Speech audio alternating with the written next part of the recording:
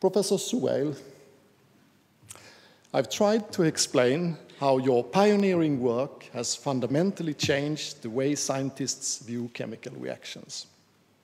From being restricted to describe them only in terms of a metaphor, the transition state, we can now see the actual movements of atoms in molecules.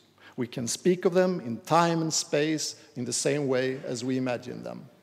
They are no longer invisible.